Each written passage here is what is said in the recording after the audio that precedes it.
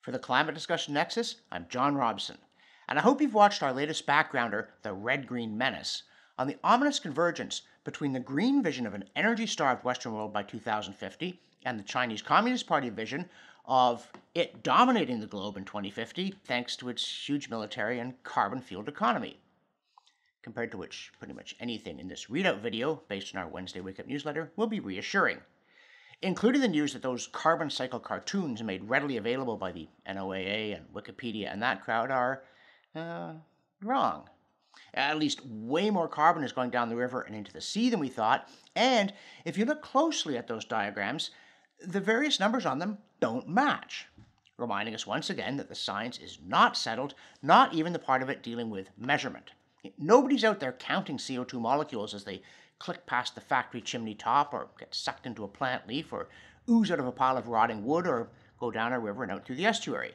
Just as nobody took the temperature of the Earth in 1880 or even in 1980 so they know to within a decimal place or frankly to within a degree what's really going on. And we could make the same point about econometrics. Even the major new Fraser Institute study on the economic impact of a $170 per ton carbon tax in Canada that said it would lower our incomes and destroy lots of jobs. Our Minister of Environment and Climate Change dismissed the findings on Twitter without having any apparent idea what they even were, including the finding that his own government is very dogmatic about its conclusions about its Green New Deal, despite not having even done a study, or if they did, certainly not having released it. So, yes, it's possible to quibble with the finding of the Fraser study by University of Guelph economist Ross McKitrick and the Institute's Associate Director of Natural Resource Studies, Elmira Aliakbari, that if the federal carbon tax is raised as planned from $30 to $170 per ton over the next nine years, quote, we find that the federal carbon tax will cause a 1.8% drop in gross domestic product, which works out to about $1,500 in current dollars per employed person and the loss of over 184,000 jobs nationwide, end quote. And always at CDN, we're wary of that decimal place.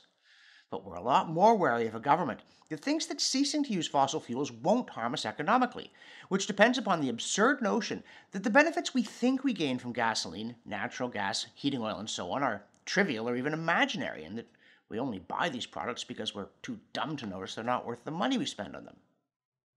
And speaking of money, NBC chirps that, quote, Green groups launched $10 million ad campaign pressuring Biden Congress to spend huge on climate, end quote.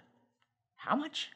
If we skeptics even had $10 million total, let alone 10 million to blow on one PR campaign in cahoots with our political buddies, NBC would write a withering expose of big oil money. Instead, it's Hugo greens.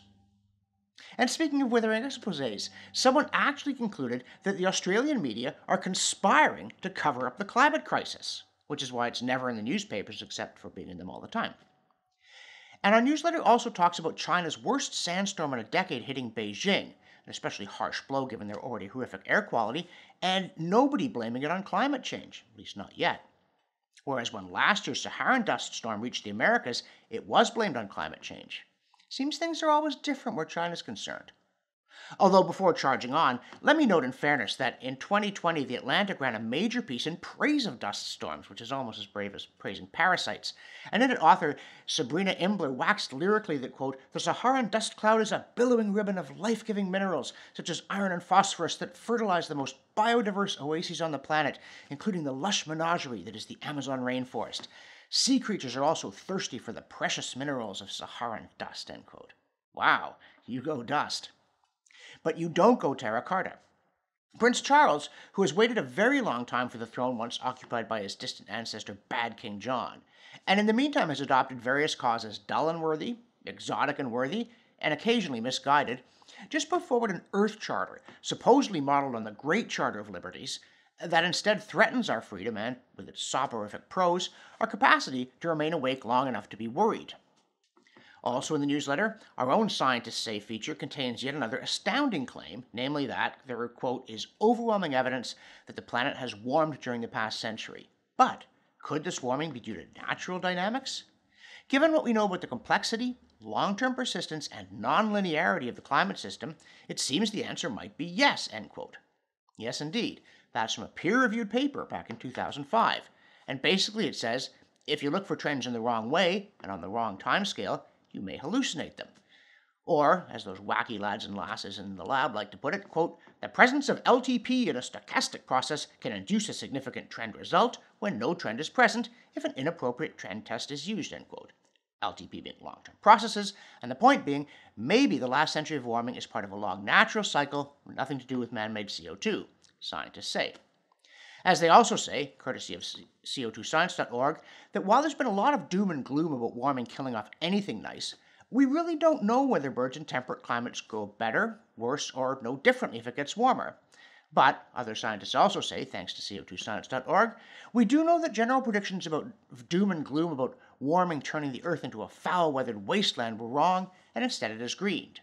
And now we also know that predictions that Africa is still going to turn into that aforementioned wasteland in 80 years appear to be based on faulty models. So, there you have it. Climate change won't do us in, though the Chinese Communist Party might if we help them, which we should not. For the Climate Discussion Nexus, I'm John Robson, and I'm no watermelon.